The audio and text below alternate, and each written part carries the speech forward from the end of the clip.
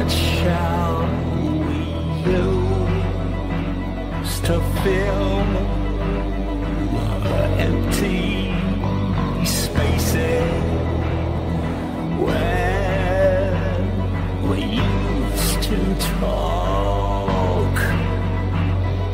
How shall I fill the final places?